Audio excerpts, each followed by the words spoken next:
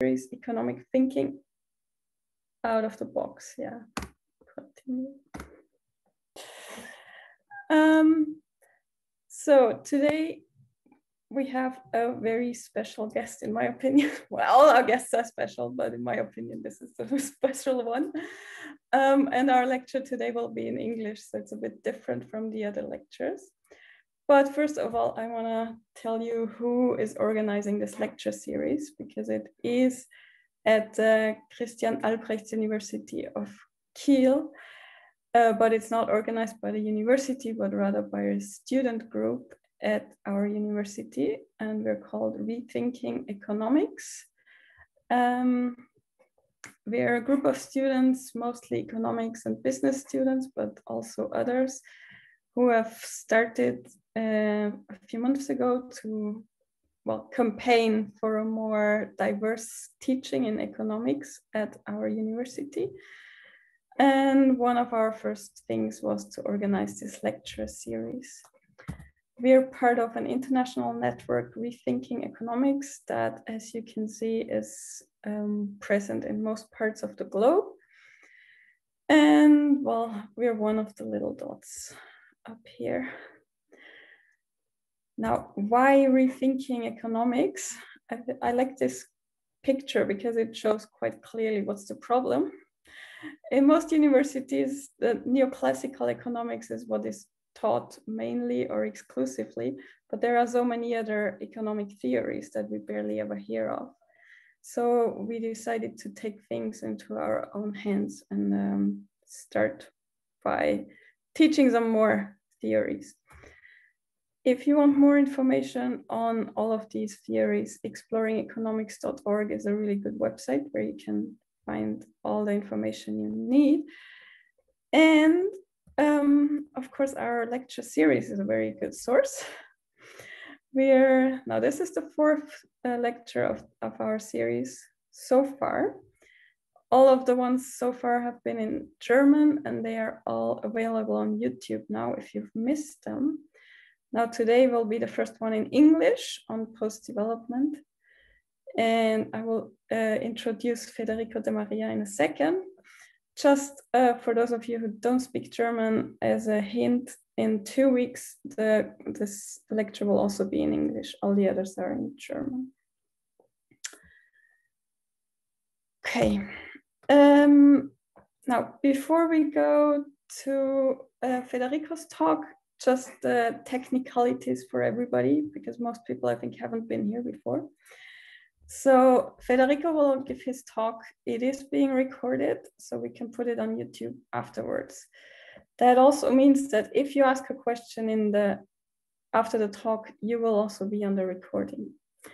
You have the chance to ask questions um, during the talk or any time during the discussion by writing in the Q&A section below. And um, you well, if there is a question in the Q&A section that you really, really like, then you can give it a thumbs up so it will be ranked higher and we will start answering the questions with the ones that are that get the most thumbs up.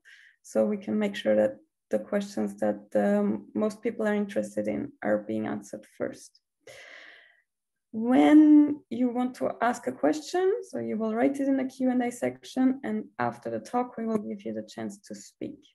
If you don't want to be on the recording or if you, for whichever reason, you don't want to ask it yourself, just write in brackets that we should read it out for you. Then we don't ask you to read it, but we will read it for you. Okay, just write that when you write the question. Otherwise, we will give you permission to speak when it's your time and you will ask your question yourself. And I guess if you feel uh, confident uh, asking in English, you can also ask in German or in Spanish or Italian. And Federico can ask, uh, can answer in English, assuming that you can understand English at least when you're here. Um, yeah, I guess that's it. So um, Federico, Federico Demaria is, um, it's, it's really hard for me to introduce him because he's my personal star. Um, he's done his bachelor's in Italy and then he moved to Barcelona and uh, did both his master, well, his master's, his PhD, and his postdoc at the uh, Autonomous University in Barcelona. And he's worked with all the big names like um, Georgios Kallis and uh, um, Alberto Acosta, John Martinez Alier. So all of these uh, awe-inspiring names, and I guess by now he's one of them himself. he's, he's almost as famous as the other ones. Um, his background is basically ecological economics, or the how how the ecology and the economy work together, uh, interact.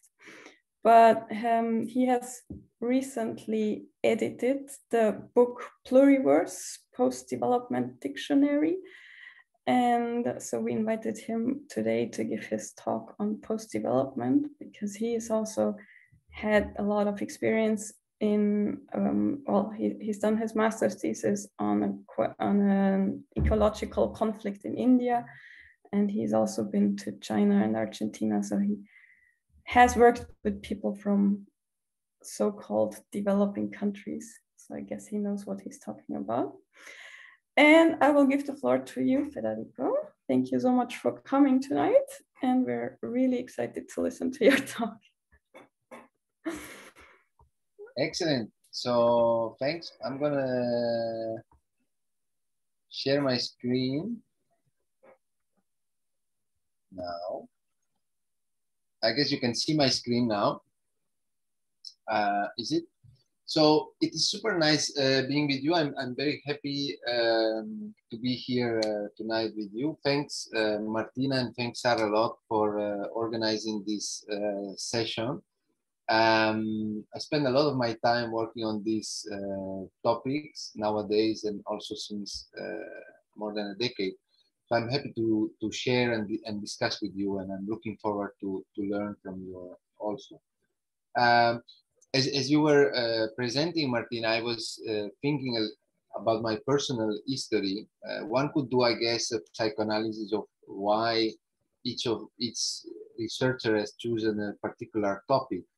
Uh, but in my case, I come from a small village in the Alps in the northern of, of Italy. And um, I'm of culturally of Catholic uh, origins, if you want. And I've always been concerned a lot with justice. So at the end of the 90s, I was very much concerned as a young teenager with, with poverty and inequalities and so on. And I was part of what would be called nowadays alter globalization movement and so on. You're probably too young to remember this. You might have not been born. I'm not so old though. The good thing compared to Alberto Acosta and John Martinez Alier and Georgios Kallis is that I'm much younger. So I still have many more decades to go, hopefully. And so, so at the time I was concerned with this topic, so I decided to study economics. So this is somehow I, I share with, with many of you, not all of you, but, but many of you and and suddenly something happened to me which probably also happened to you which is that um, you start studying economics and then suddenly you become a little bit confused and at least that's what's happened to me. Because it, you know classical economics is confusing uh, in, in, the, in the way of, of the assumptions that it uses and the methods and so on. So i kind of got frustrated that um, the economics that i was learning at university was not really helping me to understand the world and hopefully give a response to the challenges that I was seeing. And I think this is probably the reason why many of you uh, today are here because we see that there are challenges which we could agree uh, with, for example, the Sustainable Development Goals, no? Uh, but then there is no clear uh, way out of the mess or the mud in which we are in nowadays, even more with, with COVID-19. So I think heterodox economics is um, is interesting in this sense, and also uh, discipline beyond economics uh, towards the more multidisciplinary or interdisciplinary approach. One of the books that I read uh, back then, when I was a student of economics, was a critique uh, to development by um, Arturo Escobar. So the making and unmaking of, of development. And this is mainly what I'm going to share with you today. So basically, the aim of my talk today is I want to make a cultural and an ecological critique to development, to how economic development is understood by the hegemony, by the mainstream, and therefore by economics also. So the idea that uh, we need to produce more and consume more, and this will make us better. This is the mainstream idea of, of development. So I'll do a cultural critique to it in the sense that mm, the assumption that uh, there is a single project for everyone on the planet, which is development, which has to do with economic growth and producing and consuming more, is problematic because there is a cultural diversity around the world. So I think it's not so much out of the common sense to think that different people and different community around the world might have a different understanding of what a good life is, uh, which might be different from the hegemonic version that basically comes from the Western uh, culture. And this is how development is understood today. I will mention a little bit also an ecological critique to development. If economic development is understood as basically a synonym of economic growth, then uh, the question is whether economic growth is compatible with ecological sustainability or not. My position regarding this debate is very clear. I think it is not. I will not enter into the debates, into the details of it, but we could, if you wish, in the in the debate. Um, and then finally, this is like my first, the first part of my talk, the cultural and ecological critique to development. And the second part will be exploring, so what? Like do we have any alternatives to this? So I will present what we call alternatives to development, uh, which the degrowth uh, or Postwachstum, as you call it in, in German. I'm Entschuldigung, I don't speak German very well. I used to study German, but I was a very bad student, so I didn't learn it really. Um, so degrowth will be one um, in which I've been involved for quite a while now, and I will speak about. But um, we can also discuss about other alternatives to development from the global south that altogether compose uh, what we call the pluriverse. So what you see on the screen now, uh, this book, The Pluriverse, is basically an inventory of alternatives that, uh, to development from all over the world and mainly from uh, the global south. There's a lot on feminism, for example, if you are uh, interested to it. So this was like a kind of um, introduction to my talk. So let's get into it. Um, the talk might sound uh, boring, but I think if we want to do radical thinking, if we want to challenge mainstream economics, we need to go uh, and look at the roots uh, of the concepts, the roots of the problem. Uh, this is what a radical understanding means. So we have to do a little bit of history, I think. Um, in this sense, today I will try to trace a history of development development as a concept uh, in the history of humankind is very recent. In fact, the way in which we understand development today only comes from basically after the Second World War, as I will argue in a minute. So there is less than a century in which humankind thinks of development as the way forward. For the rest uh, of the history of humankind, it has been something very much uh, different, right? So one could trace uh, this short history of development, one could trace the history of conceptualization of development, how social scientists has understood development. And after the Second World War in the 50s and 60s, one could have what we call modernization theories, no? Which is the idea that we need capital investment and new technologies in order to produce and consume more. Um, this is really what would be at the base of mainstream uh, economics. Later on in the 60s and 70s, this has been challenged, for example, by Marxists, uh, in what have been called, for instance, in Latin America, dependency theories, the idea that um, there is the world is divided uh, between the center and the periphery, and the center is always dominating. So there is no hope for the periphery to develop, right?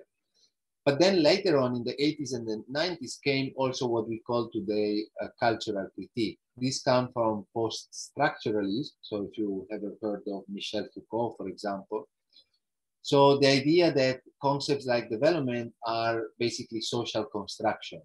So they are invention of uh, societies and therefore can be deconstructed. And this is what I try to do uh, today.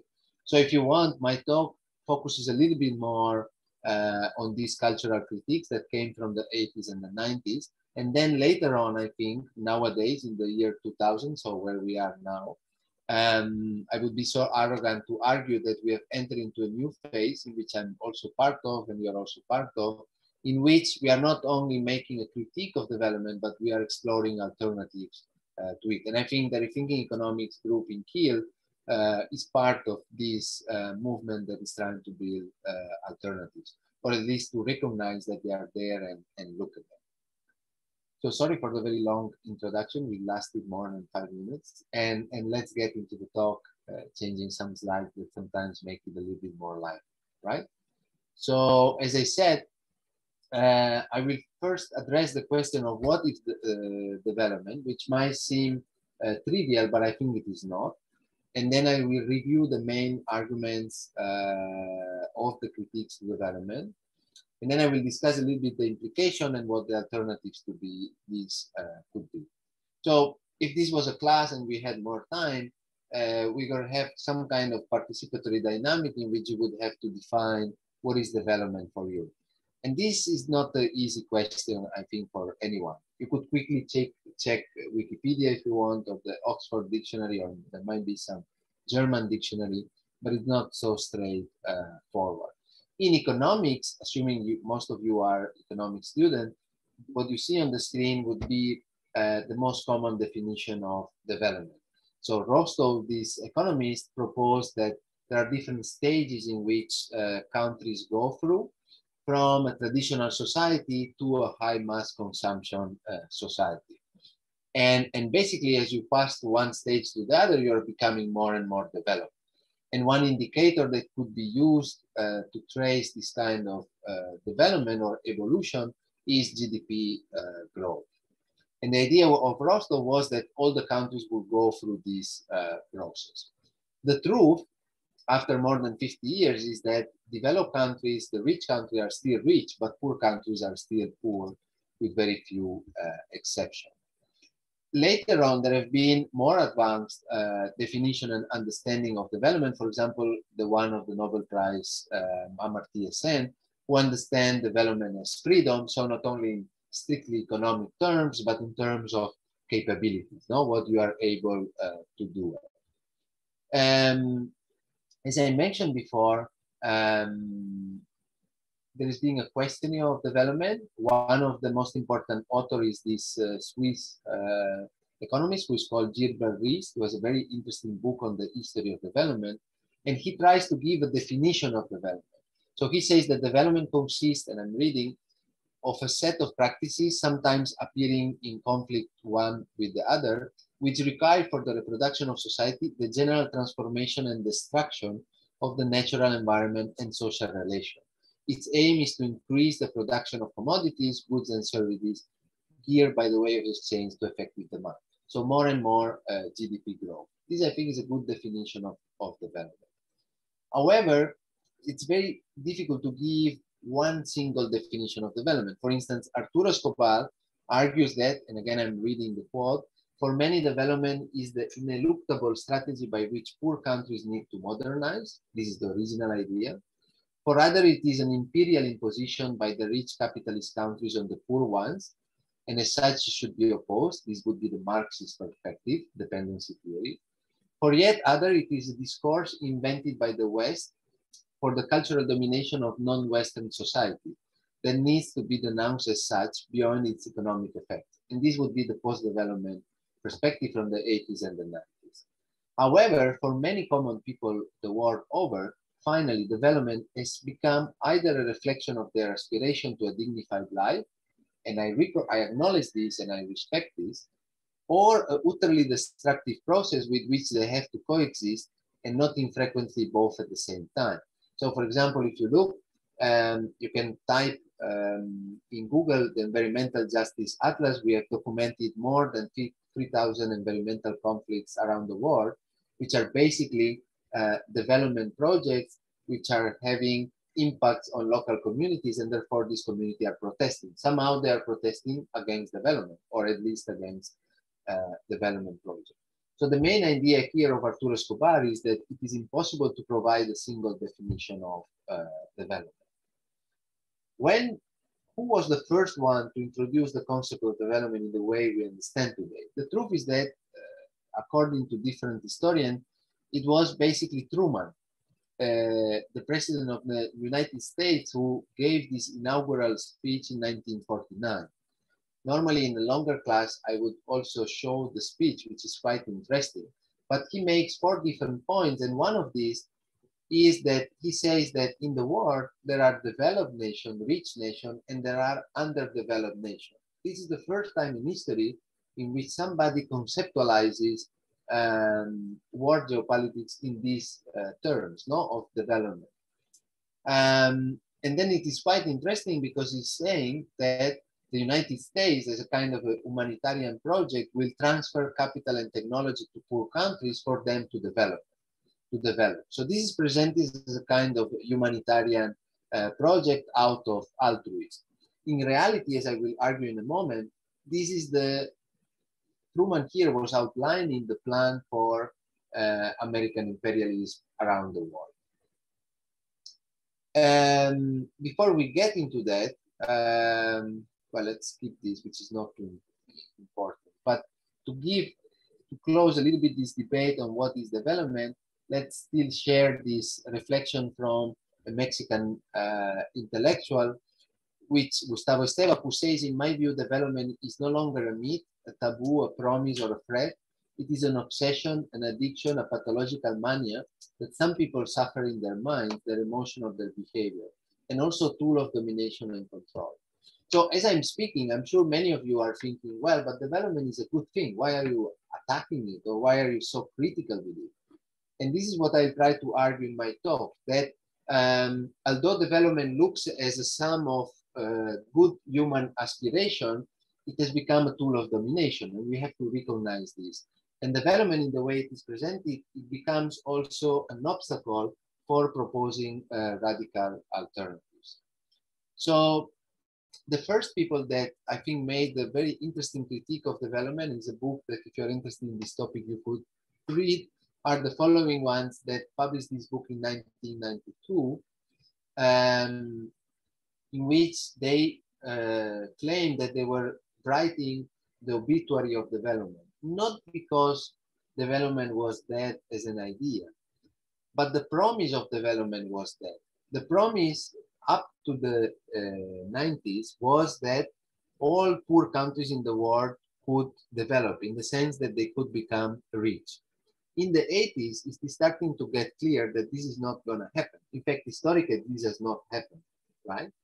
So there is a questioning of development. And this book is an interesting one. It's um, and we use it as a um, as a source of inspiration for our pluriverse book.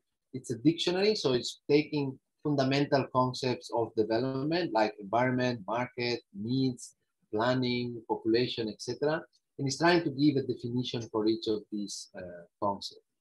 Uh, all of the authors in this book have become very important, uh, generally in social sciences and in development studies. Uh, but let's let's review the main arguments of these people would be of the post-development uh, scholar, right? Uh, I will share the PowerPoint so that you can look at the references later on if you are interested. Basically, these people from the 90s are arguing that development is at the core of the Western imaginary. And what would be this? Basically, the idea that growth or progress should be able to continue indefinitely, and that constant growth of production, GDP growth, if you want, the gross domestic product growth, will make the future self-evidently better. So this is something that cannot be questioned, right? That's how it is. However, these people, the post-development scholar, are arguing that this understanding of development is a concept that is constructed within a particular history and culture. And therefore, as a social construction, can be deconstructed, right? Uh, one interesting question here is who has the power to define what is the pro problem and how it can be solved? And let me give an example. If you define poverty as a lack of income, then the response to it automatically becomes that you need to increase income and therefore you need economic growth. And this is self-evident, necessary, and universal truth. But if you understand poverty as the result of colonialism, as the result of the lack of redistribution or land reform or whatever, then the response to poverty can be very different. For instance, redistribution. Why don't we redistribute the wealth that we already have instead of generating more? Because, for instance, if you look at GDP growth in the last decades uh, in developed countries, the GDP growth, the benefits from it are not going to poorer section, poorer uh, people in society, but they're just going to the 1%. So basically GDP growth is just benefiting uh, the richest people in the world, not the poor ones. What would benefit the poor ones would be redistribution, right? But this is not understanding of development. So in the moment in which in the 50s development is introduced and Truman uh, introduces it in his speech, it makes a big switch in history. So suddenly, uh, colonialism, which was the historical model imposed by Europe, in which you had colonizer and colonized, so Europe is colonizer and Africa, for example, is colonized, you have a switch in which uh, the United States is trying to impose a kind of anti-colonial imperialism, in which is redefining the colonizer as developed and the underdeveloped as colonized. So in Truman, in his speech, it's a very colonial discourse. So the North is projected, is described as advanced and progressive, and the South is pictured as a kind of a backward, degenerate, or primitive. So this, you understand, is, is very colonial in its own uh, term. And therefore, President Truman understands or presents underdevelopment as a lack, not as a result of historical circumstances, for example, colonialism, right? And what would be the response to a lack? Well, as I said before, transfer of technical knowledge, capital investment, and more production. But this in the end ends up benefiting only the United States and not the poor people in these countries, right? And this is what is really problematic. One could discuss also what is the situation today, in which obviously the United States is losing its center role um, as a kind of a world imperialist, and we are moving into a multipolar world in which China is uh, raising very much in importance. You have a, we have a kind of a new Cold War, etc., etc. So we could discuss the geopolitics of nowadays. However, I think development is still there and is still put forward um, as the way uh, forward. For instance, China is very much investing very heavily in Africa in what we would understand as development uh, project. So are these development projects in the end, or is this a different form of colonialism, uh, which we call development in order to make it look more uh, acceptable? historically speaking, uh, what President Truman introduced had four, I think, important uh, implications. First, that as I just said, it created a new set of international uh, relations. Second, that inequality was justified, so that if development is, is basically a synonym of economic growth, uh, the idea that wealth can be generalized to everyone on earth and therefore injustice is a temporary state of affairs and we don't need redistribution. Third, that historically it went beyond the kind of an ideological divide between communism and capitalism. And fourth, that there was a standard unit of measure uh, to measure development, and this was GDP, gross domestic uh, product. So in the understanding of post-development scholar, development has become an euphemism to Western hegemony in the sense that it is the only possible uh, way forward and it is based on one knowledge system, which is basically the Western one. In this sense, we say that development is an imposition of the Western world, of the rich countries upon other countries uh, in the world, right? By this, I do acknowledge that there are many people in the South that use as a name to, for their aspiration development. And I'm totally fine with it. I respect it. But this doesn't mean that it's, it's not part of the colonial history of these uh, countries, right? So my son is trying to get into the room, as you can see. My wife is trying to stop him. Um, but by going back to the definition of development, nowadays development is basically a sum of virtuous human uh, aspirations. So well-being, progress, justice, think of the sustainable development goals. So how can you be critical of it if it sounds so nice?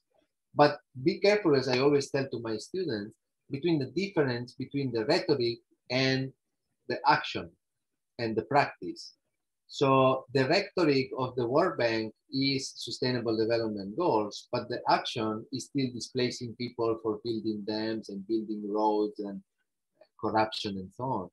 So somehow we also argue that development has become a kind of what we call a plastic word in the thing that it no longer means anything except what the speaker wanted to mean. So it is very difficult for people to give, uh, to agree on a single definition of uh, development. Again, here I'm, I'm uh, reporting the definition by uh, Gilbert Rist in general, I think we could even go further and argue that development has become a kind of a new religion. And why do I say religion? With a lot of respect for uh, religious people and, and spiritual people, but in the sense that it is different from an ideology because an ideology can be questioned, but not a religion, because a religion, by definition, is the belief of a given social group in certain indisputable myths or truth, right? So in the case of development, one of these myths would be that technological progress can solve any of the problems, for instance, climate change. So you don't have to change your lifestyle, right? So because development has become a kind of a new religion, it becomes very difficult, it becomes very difficult to challenge it because there is a kind of a social consensus around it in which everyone agrees on something. But really, when everyone agrees on something, I think you have to be careful because there is something wrong in it. So, for example, everyone, all the political parties agree that we need economic growth, but I think it is uh, highly problematic, right? Of course, in the history of development, the critiques that have been made to development have been reincorporated because uh, the mainstream is always able to cope the critics. So, for instance, you have had human development, or gender and development or local development or sustainable development, different adjectives, right? To try and modify a little bit what development means. But in the end, the central idea of what development is, it's still there. So for example, if you look at the sustainable development goals, they're all very nice, gender and environment, inequality, poverty, hunger, but uh, the sustainable development uh, goal number eight, it is about decent uh, jobs and sustained growth at 7%. This is nonsense, you know? And this tells you that the central idea, what I've been tracing historically um, of development, it is still uh, there. So what we try to do as post-development scholar is to challenge uh, this idea. And already to conclude this part, uh, the idea here is that we are looking at discourse, and this is what post-structuralism is about. And this is really not part of economics. I mean, economics is, uh, mainstream economics is not concerned about discourse. Uh, but in the understanding of post-development, we are very much influenced, for instance, by cultural anthropology and so on. Um, we could discuss about power. So in the understanding of post-development scholar, discourse has become a sufficient guarantee of social power to do what? To intervene, to transform, and to rule. So in this sense, the rhetoric is always preferable to force if it serves the purpose of persuading people. So what is the idea here? If you can convince countries around the world to do what you want them to do with the rhetoric of development, this is good enough. If they don't, then you always have military intervention, like in the case of uh, Iraq, Afghanistan, and so on. But first you will start with, with discourse, right? Because it is a little bit easier and more acceptable also in your society. So to summarize and conclude, post-development scholars try to do a kind of a deconstruction. So they not only challenge development, but they try to challenge the economic science as a kind of a mental uh, colonization. So economics is uh, colonizing not only the minds of economic students, but also of other uh, disciplines. And economics is not open at all to a variety of methods, for example, or to influence from other uh, disciplines. And I think this is highly uh, problematic. So for post-development scholar, I think we need to decolonize ourselves uh, from economics. In fact, there is an interesting book uh, which is called The Invention of Economics by uh, Serge Latouche, a French scholar. Because when we say, for example, when we talk of sustainable development and we say, look, there is the environment, there is society, and there is the economy, and sustainable development looks at how the three spheres interact, obviously this is an abstraction that is an invention of humankind. There is no such a thing as a society, environment, and economy separated. In fact, the economy as a matter, as a reality, and does not exist. It's an abstraction of humankind. It's an, in this sense, it is an invention, right? Which is fine. There is nothing wrong with it. But, but the problem is that sometimes economists think that they're like natural scientists, no? And that they have some kind of universal uh, truth, right? And I think for social scientists to claim that they hold some kind of universal truth, I think it is really, really uh, problematic. Think of the concept of, for example, work in the sense of paid work, of labor, right? Uh, nowadays, if I say labor, you think of somebody selling his or her time on the labor market and getting a salary in exchange of it. But in the history of humankind, this has never been the case. This is a very recent phenomenon in the history of humankind since the Industrial Revolution. Or the fact, for example, that land can be sold in the market, that you can buy a piece of land or you can sell it to somebody else and that there is a market for this. This is a, a fiction. If you want to read the classic, you can read uh, Karl Polanyi, The Great Transformation, right? Uh, in which we, he talks about fictitious commodity, which is exactly labor, land, and money, right? So something that is considered to be natural or normal nowadays within economics, it is not. and it has never been in the minds of people uh, in the history of humankind. So I think to have this historical perspective also on the concept, I think it is important to, to understand better. And if we also want to make a critique of, of mainstream classical uh, economics, right? Therefore, if we can do this deconstruction uh, of uh, development, then this hopefully open up the door for a matrix of alternatives. If we can decolonize our uh, mind from the economic science, then we can think with more uh, and feel also with more freedom and think of different realities or realize that there are already different realities in the real world that do not work along the lines of what mainstream classical economics uh, is saying, right? So this would be what, what we call a pluriverse uh, of uh, alternative and of which we make an inventory in our pluriverse book.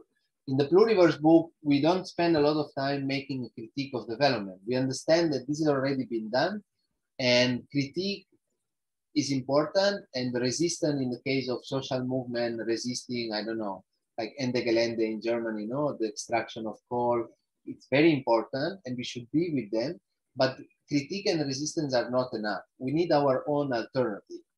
Um, what kind of world do we imagine, imagine or do we envision? And we need to decolonize our mind or to decolonize our social imaginary in order to um, to imagine something uh, different.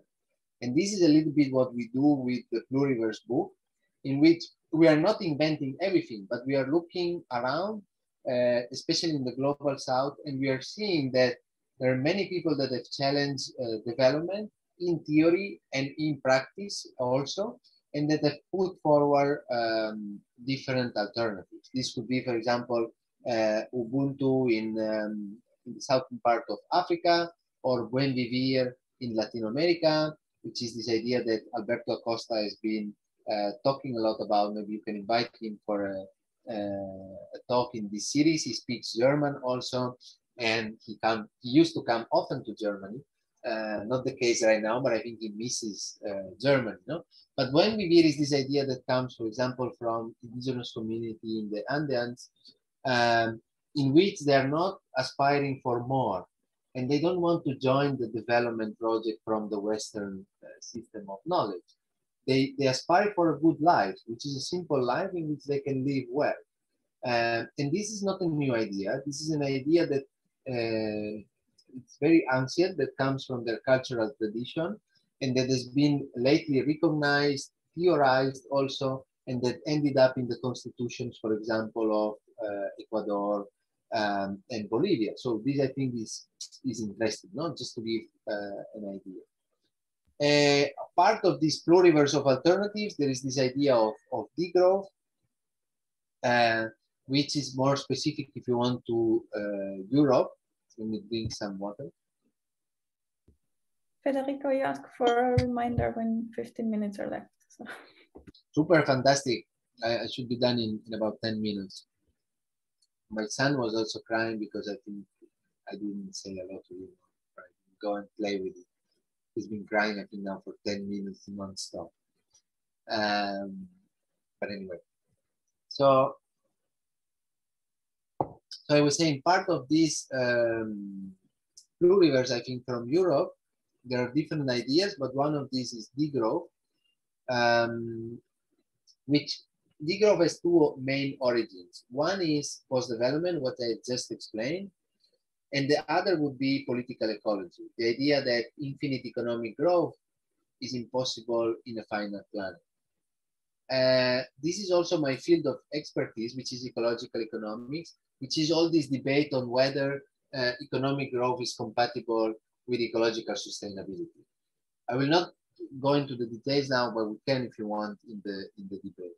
But out of these uh, two roots, degrowth comes out as a critique of uh, the understanding that economic growth can solve all the problems in, in our society and is a proposal for a different kind of society, one in which we would produce and consume less, we would redistribute so it would be a more just society, we would change our social relation also in terms of gender, um, and basically in which we would put the well-being, or if you want, life at the center and not economic growth.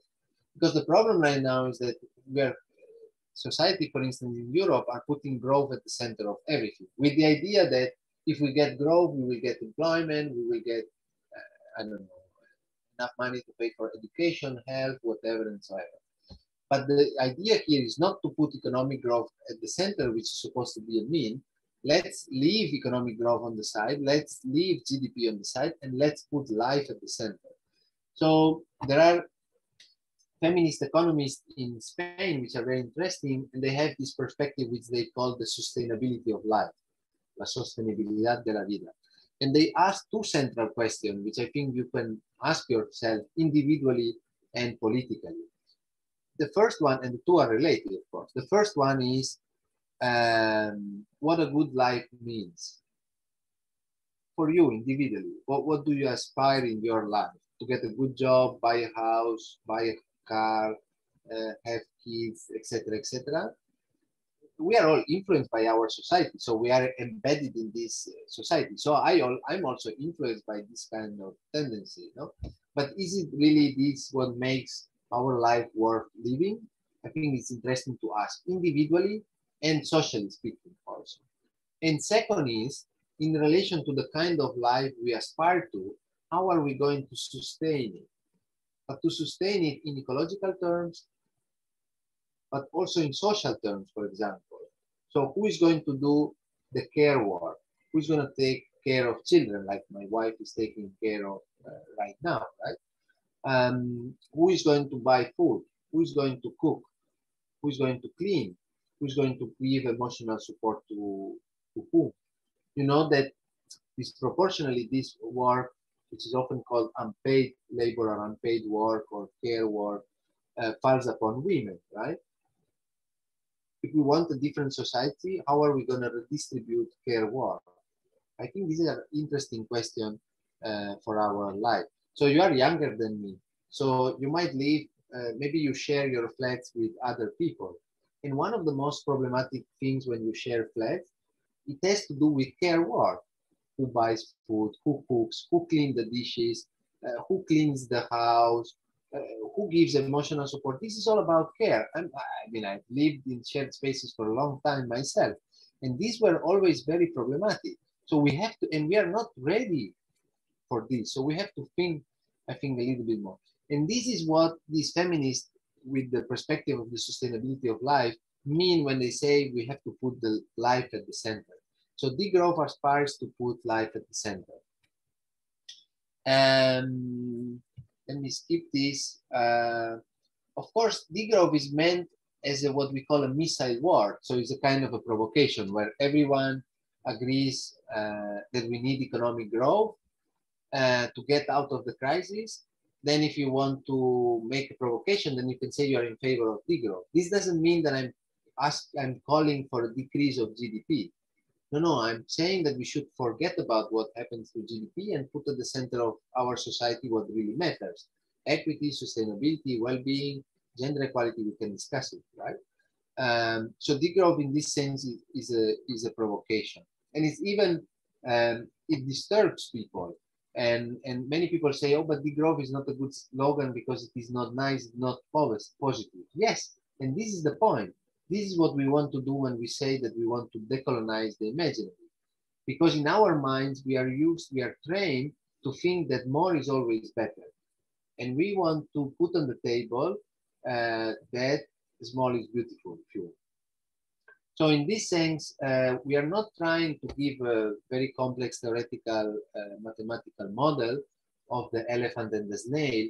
We are not trying, if our society, if the elephant um, which is a little bit too fat, we don't want to make put this elephant on a diet. So we want don't want to make this elephant to become thinner, but we want to transform the elephant, which would be our industrial societies, in something completely different, which could be a snail. Why do we use uh, the picture of, of the snail? And if you want to laugh, I even have a snail tattoo on my neck. And the idea is that the snail is interesting because it has the sense of limit inbuilt. What do I mean? When the snail is growing, uh, you know, it has a spiral, no? Which keeps growing. And then at a certain point, it stops. Why does it stop? Well, because if it would continue to grow, first we would not be able to move. And then since the growth is exponential because it is a spiral, it would be so heavy that the, the snail would collapse on itself and would basically die. So this is what is interesting for our society, that our society are not accepting that they are mature enough to stop growing and focusing on just enjoying life, right? And the snail also, of course, goes very slow, which I think is something we could uh, enjoy more in, in, our life, to be a little bit uh, slower. If you want to learn more about degrowth, I have these uh, two books, the degrowth vocabulary. It's uh, a vocabulary again inspired by the development dictionary, uh, which tries to uh, clarify the most important terms that we use in this debate. And then the introduction to the book um, defines what we mean by degrowth. This book has been translated in more than 10 languages, including German, uh, and you can find it in PDF online if you don't want to buy it. And then the second book, uh, The Case for Degrowth, uh, is a more recent book that we published in September, uh, in which we focus a little bit more, not so much on what the problem is, but how we can get out of this mess. So it's a little bit more on the strategies and the actor. What can be done? How can we do it? Who is going to do it? And so on. And we make an argument that individual actions should go together with action at the community level, at the city level, and the political institution level. We use the example of, of Barcelona and Spain, in which there's been some interesting experiences, uh, we think in these senses, and we make concrete experience, we mention and discuss concrete experiences, and we make a lot of uh, proposals. The second one, the case for degrowth, is a very short book and it's also a very cheap book. A group of volunteers is translating it into German. If you want to help, uh, send me an email and, and that would be great. Uh, and then in the global south, uh, I think as these two authors say, the mood is the search for alternatives in the deeper sense that is aiming to break away from the cultural and ideological base of development, bringing forth other imaginary goals and practices. And this is what we try to uh, collect in the book uh, Pluriverse. As Arturo Escobar also argued, I think it is important to resist falling into the trap of thinking that while the North needs to degrow, the South needs development. Um, Arturo Escobar says that there is an important synergy to be gained from discussing degrowth and alternatives to development in tandem while respecting their geopolitical and epistemic specificity. If you want, I'm going to end in a minute because I've already spoken for a lot. Um, I've been in India for a long time. Uh, doing fieldwork for my PhD, and there are lots of debates in India that uh, growth should be inclusive and green, but this is an admission that growth up to now in India is being neither inclusive nor green. So it has not benefited poor people, and it has been very much destructive uh, to the environment. So in this book, Pluriverse, we uh, review many alternatives. I'll share uh, in a minute the link in the chat. You can find this book, the Pluriverse, uh, available online in PDF. You can buy it if you want a physical copy, but it is in Creative Commons uh, because we think this idea uh, have to be shared uh, openly. So now would be the time for a beer if I were with you in, in, in Germany. Um, it has been a pleasure being with you. These beers were done for the degrowth conference. There is a degrowth conference every international degrowth conference every year. This year there are two happening in fact in the summer, one in Manchester and one in the Hague in the Netherlands. So you're very much um, invited to look at them. And then I will also share in a minute in the chat, I'm organizing a summer school here in Barcelona, but it will be an online summer school. I'm sorry about that. On very much what I've been discussing, and it is feminist and ecological macroeconomics. So I think we need uh, to train the economists for the 21st century. And I think this is what Rethinking Economics Team is trying to do. And uh, my proposal, if you are interested, is this summer school, and I will share in a minute uh, the link. Fees are very low. It's a five days course in which we will review the main arguments. Uh, we will look at the models and so on. Uh, it is taught for students of economics, but anyone is, is welcome who, who just if you are interested in these topics, then you are most welcome to join and you will find like-minded uh, people. We organize also in Barcelona a summer school on degrowth and environmental justice every year. Registration for this year are already closed, but but you are welcome. And then last, also in Barcelona, we have a master degree in political ecology, degrowth, and environmental justice. So if you're interested in these topics, please do come and, and join us. It would be uh, great to, to have you here. I guess I've spoken for too long already, so let me stop here and, and start the discussion. Thanks a lot. Yes. Thank you so much, Federico. I don't think it was too long. I thought it was very, very interesting, very inspiring. Um, when you send a message in the chat, make sure you select all panelists and attendees, otherwise they won't get it. Okay, we have already received some questions and I'm sure people are busy typing the questions right now. Uh, the first one is from, and yeah, oh sorry. Uh, the first one I will read out because we don't know, it was anonymous. Um, but it's a very good question. I love the idea of development as a religion, they say. The current system for many people just seems inevitable and given or unchangeable. How can we start think, start talking to people that are completely constrained by the boundaries, frameworks of neoliberalism, and simply cannot even imagine different systemic frames? How do we talk to them, Federico? Do you want to take uh, the question one by one? Yeah, I think that's best.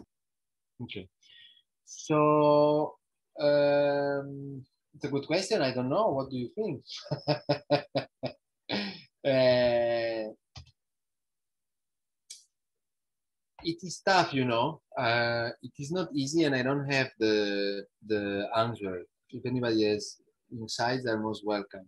Um, I think, to me, one interesting question is the following. Is the development project and all its reincarnation which is human development sustainable development now is the ecological transition next generation new green deal etc etc no? They are all promising promising in the sense that they have promises in the sense that they promise that they will end with inequalities they will end with poverty gender inequalities unsustainability and so on but as time passes this is not is not taking place so inequalities are on the rise climate change is getting worse and worse Uh, unemployment among young people is very high, above 40% here in Spain, but not much better in Germany, I think, etc., etc. So despite there is a rhetoric that things are going well, the macroeconomy is going well, GDP is going up, and there will be a recovery, the reality is not it's not the same as the rhetoric. So I wonder whether people will start realizing this at a certain point. So if I had to talk with someone who believes in the mainstream project, I would say, I would ask them, do you think that the mainstream project is actually responding to the challenges that we are facing nowadays or not? Because, for example, in the case of sustainable development, sustainable development was proposed in the 1980s, mid 80s. So we are basically at three decades after sustainable development was proposed. I think the time has come to do an evaluation. So was sustainable development a success or a failure? Well, it depends what your objective were. If sustainable development is evaluated in terms of what it was promised, that it would improve the sustainability of the economy, it was a clear failure. There is no single environmental indicator that has improved since then, apart a few exceptions which are really minor. If the idea of sustainable development was to push back radical critiques from the 70s, like degrowth and limits to growth and so on, and kind of co-opt this critique in a kind of a mainstream narrative, then it was a great success. You know what I mean? So I don't have a magic bullet, but I would just ask these people, until when are you gonna cheat people? I think there's a big cheating project going on. Yes, thank you very much. Frank has a question who will ask it in person to you. Yeah, thanks, Federico, for uh, the presentation.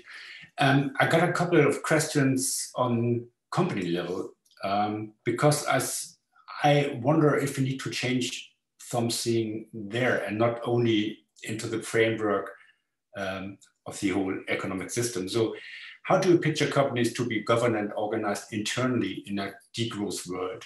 Is there a difference to the way companies are organized today? In face of the ecological crisis, do companies continue to operate in a market economy that just happens to be more regulated?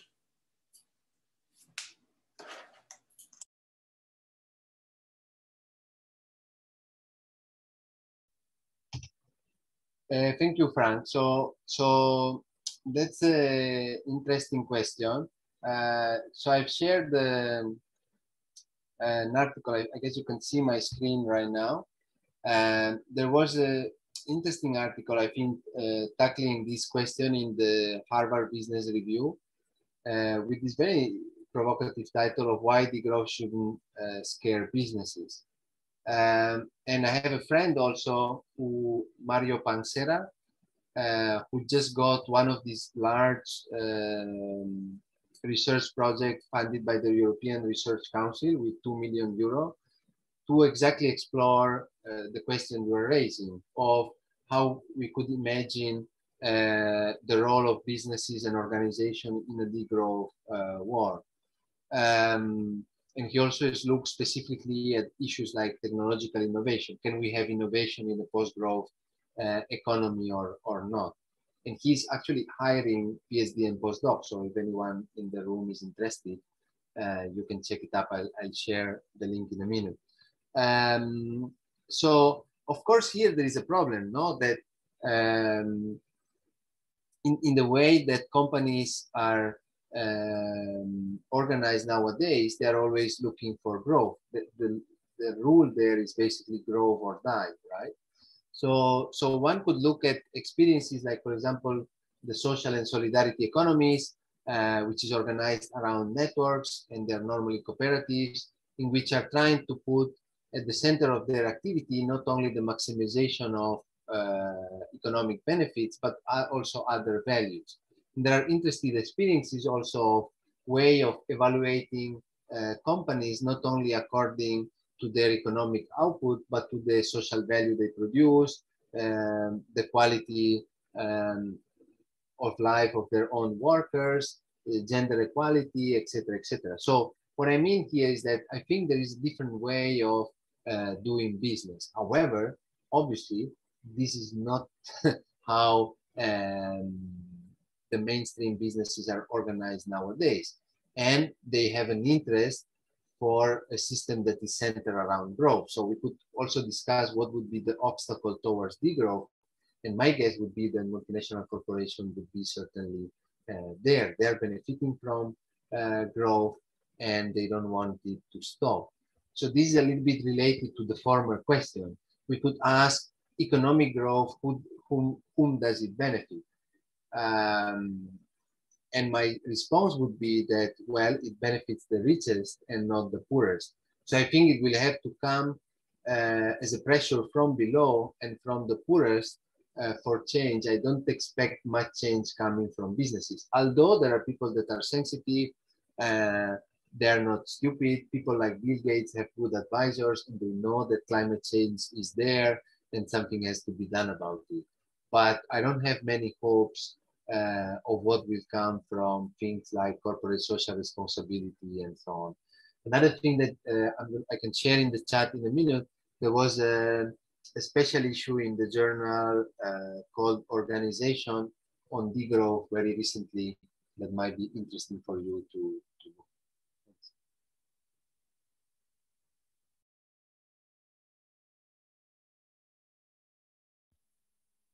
Thank you both for Frank for the question and Federico for the answer.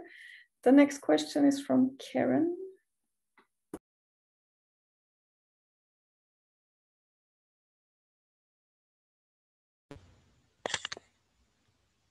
Okay. Um, yeah, uh, about the scenarios that would mean for, I'm thinking on middle and low income countries if not is it if i mean if not through growth and development would be what will be then the path to get out of poverty uh, to millions of people that are now in that situation assuming not just poverty as an income condition, also like uh, in a multidimensional level. So how could be the way of of that type of countries? Um, and also if slowing the rhythm of the elephant wouldn't put in order to become a, a snail, wouldn't put the countries in a secular stagnation scenario?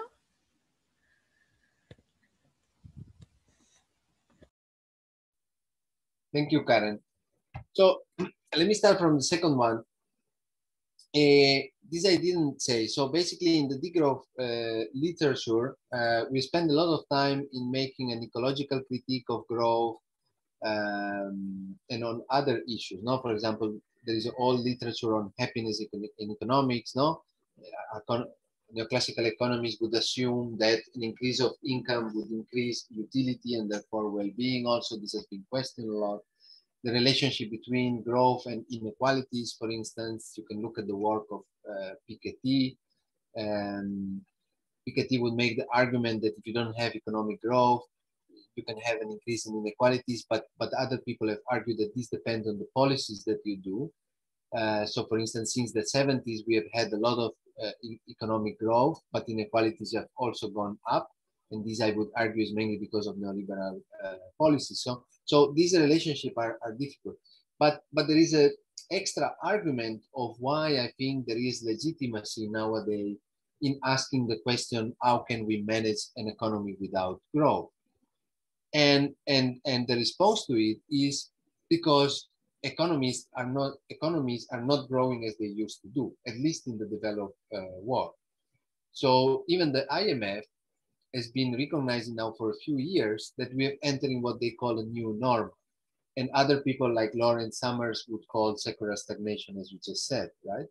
Um, so the fact that even if you look at China and India, even before uh, the COVID-19 crisis, they were not growing at 10% anymore.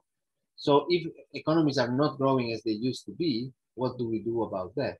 Of course, a lot of efforts have gone into making it grow again.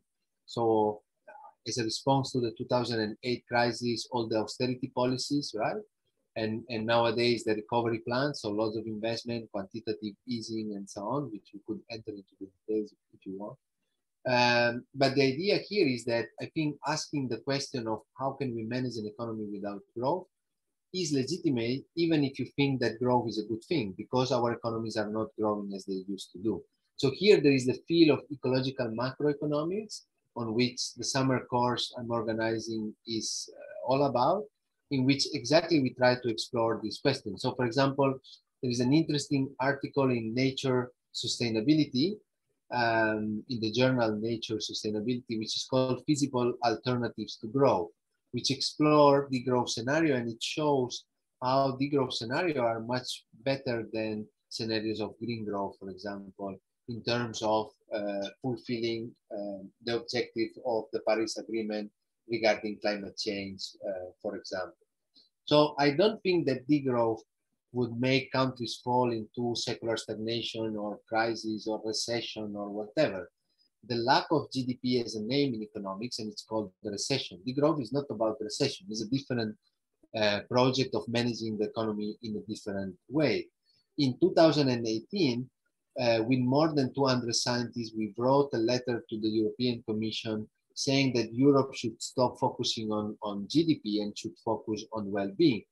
Obviously, they didn't pay attention to us, but if they would have paid attention to us, they would have been much more better prepared to react to the COVID-19 crisis, in which basically is a kind of is a situation in which you have um, a stop in the production and consumption because of the lockdown, and then suddenly your economy collapses because it is organized around growth.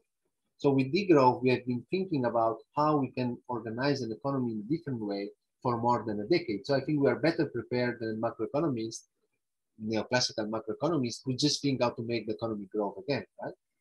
Um, so in relation to the other question of poverty and inequality, obviously, if you look from the perspective of development, uh, when I criticize uh, development and economic growth, it is normal and it is totally legitimate to think, okay, but then what do we do with poor people and inequalities? Then my response is, we redistribute. and this is difficult to think in, in, in, in our minds because we have been trained or, or brainwashed to think that the only response to poverty and inequality is growth. No, there is a different response, which is redistribution between countries and within countries. Then you can tell me that this politically is not feasible. I accept it. It's a difficult part. Fair enough. But I can also say that growth has not solved poverty and inequalities uh, in the global so south up to now. Then you, you can tell me as a counter argument. So I'm, I'm just I'm like uh, mimicking a debate, no? But so so then you can tell me, but the World Bank says that hundreds of millions of people have come out of poverty. Well, then look into the detail of the methodology they use to say that. If you define poverty as less than one dollar a day, and then on the basis of that you say that millions of people have come out of poverty, then I think you're making a trick, because a kilo of rice in India costs almost uh, half a dollar. So one dollar a day is not going to be enough to live. You know what I mean? So and these are a lot of debates on, for instance, the Millennium Development Goals, right? Uh, on whether they were accomplished or not. On this, however, on this topic, you can see the book if you are interested, which is called The Divide by Jason Hickel, which is all about this, right? But my main argument would be here, my simple argument to simplify and not make it too long, is you don't need growth to solve poverty. What you need is redistribution of wealth. That's all you need. Uh, between countries, because you recognize that there is historical debt of rich countries towards poor one because of colonialism, right? Uh, and because of unequal trade exchange. And uh, and within countries, because I think now nowadays it, I think it's become more and more problematic to talk about the global north and the global south because there are lots of poor people in Europe and there are lots of rich people in India, for instance. So we have to focus a little bit more on on on social groups or social classes or, or whatever. if you are an economist and you are motivated, you can look about what is called uh, the macroeconomics of uh, stratification, which looks at inequality from a perspective of gender, uh, of class, of race, etc. What is called intersectionality. In the sense how all these dimensions, race, class, uh, gender, etc., etc., intersect and in the end produce and reproduce uh, inequalities. Uh, I could go on and on, on on this, but but I will leave it there not to make it uh, too heavy. But if you are interested, I, I yours is a very good question and very respectable. But I would invite you to look at the work of, of Jason Eaton because it's very interesting. He is a, an anthropologist at the London School of uh, Economics who is in fact moving to Barcelona to work with us uh, as a professor here and also professor of uh, our master in political ecology, degrowth and environmental Thanks. Thank you. Um, we have another anonymous question regarding degrowth, um, more towards as to how to achieve degrowth. Well, it's two questions actually. So the first one is, how do you get the critical mass that needs to believe? Like, how do you get the critical mass that you need to believe in degrowth? And the second question is, how do you change the system once you have that critical mass? I have a very quick response to that. Read our, read our book, The Case for Degrowth. That's a cheap response. Um, but this is this is what the book is all about because debates on degrowth, uh, was launched as a slogan in the year 2000. So for more than a decade, we spent a lot of time um, at the time the economy was growing, so we were putting a lot of efforts on what is wrong with economic growth. Then suddenly the crisis 2008 came, so which reached a little bit and we became, I think, more mature and we started to think a little bit more on the politics of the growth. So what what can be done about it? How are we going to do it? Who is going to do it and for whom? So our book, The Case for Degrowth, is all about this. Um, we put forward different policies proposal, uh, the new Green Deal, but uh, without growth, so a little bit different from the mainstream uh, option. We speak about universal care income, uh, care income to to give visibility to the care work that is done uh, mainly by women still in our society. And then we propose work sharing, and work, the reduction of working time and work sharing, um, and a few other proposals, right? Uh, on, on your question of how you get to a critical mass, we discussed a little bit the idea from Antonio Gramsci, an Italian Marxist, on, on what he calls the common sense. So, um, what makes sense to people? Uh, when, you know, the extreme right wing says uh, migrants are coming to get our jobs, this somehow connects to people, you know, and and we have to be careful with these dynamics, and we have to try and, and understand it. Um, we know that rationally it is not the case. You know, migrants that are coming are getting, you know, jobs that nobody wants, etc., etc. But this is not how people perceive it. So we have to be uh, careful with what is called framing and people like Lakoff. We discuss a lot this issue in our uh, book, how to present ideas to, to people. Um, and then trying to connect with what makes sense to people. So if I tell people, look, money is not everything in life, it's a common sense, you know, everyone will agree with me. Uh, so this is something we can connect to people. Um, so this is a little bit the idea we, we build on in our book. The other issue that we put forward in our book in in the, in, in the sense of how we can uh, promote the transformation is that we don't have to invent everything from scratch. We have to realize that uh, there are lots of alternatives already going on. So capitalism is everywhere, modernity is everywhere, but there are still spaces of resistance or where this dimension have not reached. You know, there are still lots of dimension of reciprocity. For instance, today I'm here with you and I'm not getting paid. And I didn't expect, they, the organizer didn't tell me we cannot pay you. I didn't ask whether I, I was going to be paid. I'm here because I enjoy being with you. So this is part of reciprocity, you know. Um, so there are still people do a lot of things in their life not for money and not because they expect something in exchange. So we, in our book, we argue that we have to start and build on this. Uh, also, not to get depressed. You know, I don't have a simple solution, and I'm not saying I'm I'm not here making a promise that the growth is around the corner. You know, and it's going to happen. I don't know if it's going to happen. I argue for what I think um, would be a good idea, but the fact that it doesn't look too feasible in political terms nowadays doesn't stop me from saying it or arguing from it. I know that alone I cannot do it. So here I am today with you, you know, and I would pose the question to you, you know, what can we do about it? It's an open question. And I think alone we, we cannot do it, but we can do it together. So I think initiatives like Rethinking Economics Kiel are, are very good in this sense. And, um, and as I said, if you want to look more into the details, you can you can look at, at our book, The Case for Degrowth. It's a short book and relatively cheap also. Thank you.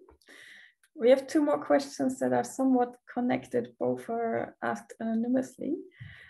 Uh, the first one is, what do you think about current alternatives like uh, economy for the common good or purpose economy? Are these useful transformations in the sense of degrowth or more like false friends because they are all, they're still coexisting with the current system of development? And the other question is, do you support any alternative to GDP accounting like gross national happiness or something like?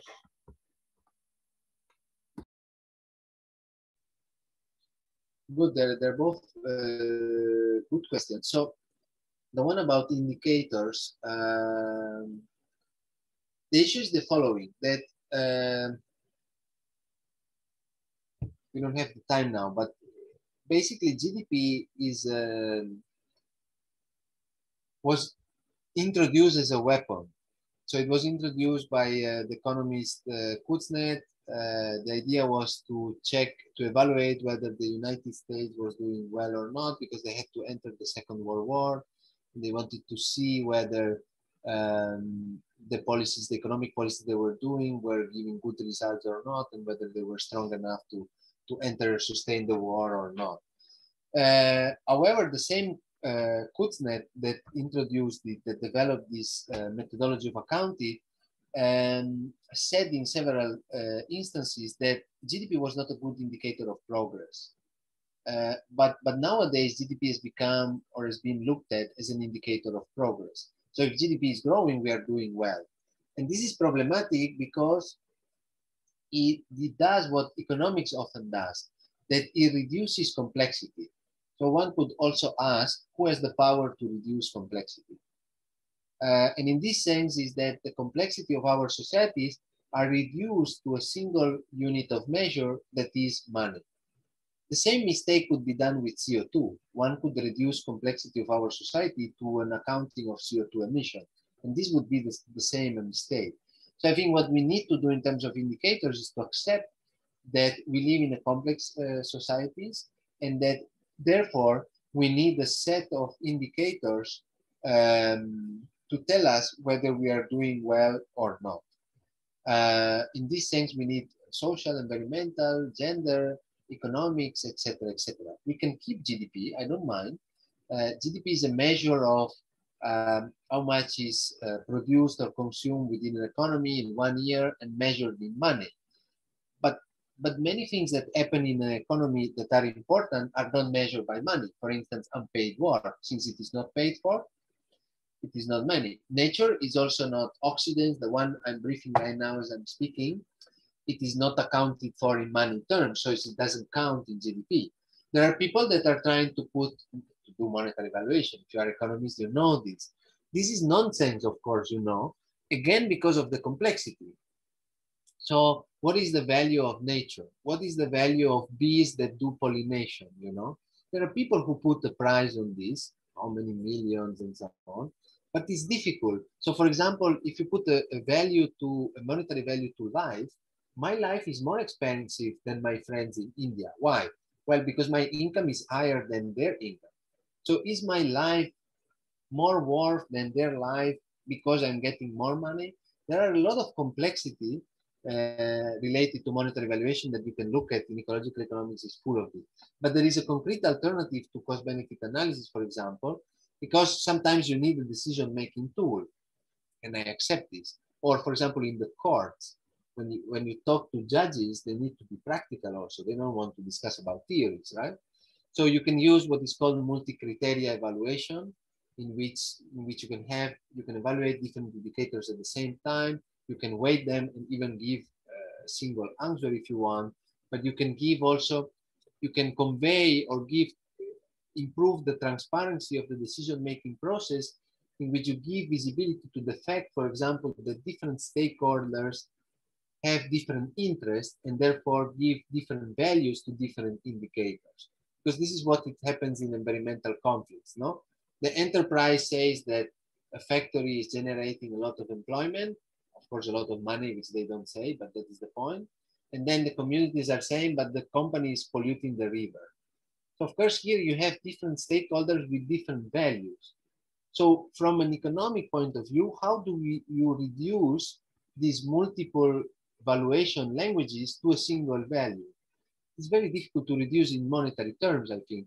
And this is also a problem that um, I think from a heterodox economics point of view or from a pluralist economics point of view, we don't have a theory of value. And I think this is something, if you are interested in our core theory, we could discuss of in another session. What, what theory of value are we in favor of? It's not a simple uh, question, uh, I believe. Now I got a little bit lost. I'm, I'm starting to get tired. So the question was, oh yes, on the indicator. So I spoke too much about that. And on the other, on, on there are different uh, alternatives. We review them in the Pluriverse book. We also try to divide them between false alternatives and transformative alternatives. This is difficult to do, you know. Uh, but just to go briefly, the economy of the common good, I'm not a fan of, to tell you the truth. I think it is a little bit of uh, reincarnation of corporate social sustainability, uh, it called? Corporate social responsibility. I think it's a little bit moderate as a perspective. However, it is not bad. It is trying to put the the idea that companies should be um, looking only at the economic benefits, but say look also at uh, social and environmental benefits. And lots of people are following this perspective. So I respect it and I think it is interesting. I think another one that is more interesting is what is called donut economics by Kate Raworth, uh, with this idea again with the indicators of putting what, what she calls the social foundations and the planetary boundaries. This is a central problem here, even with the person who asked me before about poverty in the global south and so on. There is a problem with the clash, if you want, between human development and sustainable development, to use the mainstream terms, right? None of the countries in the world is able to provide a good life to its people within planetary boundaries. And this is a societal failure for everyone. There are people who do well in Europe. My son is coming because he wants to have dinner, so I'm going to go with him in a minute. Vengo lì, un secondo. Sì, lo so che vuoi mangiare. Adesso vengo, aspetta un momento. Finisco. So, one issue there is that rich countries who do, or in general, countries who do well in terms of human development are also very polluting. So they're transpassing the planetary boundaries. No, they're, they have too many environmental impacts. On the other hand, you have poor countries who do better in environmental terms because they produce and consume well, uh, less, but they don't do so well in terms of human development. So the point is, how do we bring those closer in the sense within the planetary boundaries, but still providing a good life uh, for all? This, I think, uh, is not an easy question, uh, but is an interesting one. The perspective of donut economics is trying to put these two uh, perspectives together and give also an indicator. I think degrowth and all the alternatives we review in the Pluriverse book are uh, about this. So with this, I think I'll have to say goodbye. we, if Yes, we want to put life at the center, then this is what it means also. That's perfect timing. We're done with our questions. Thank you so much for being with us, Federico, tonight. It was a great pleasure, great honor to have you here. Um, I think it was very interesting, and we will put it on YouTube for everybody who did not have the chance to be here today. And we release you to have dinner with your family.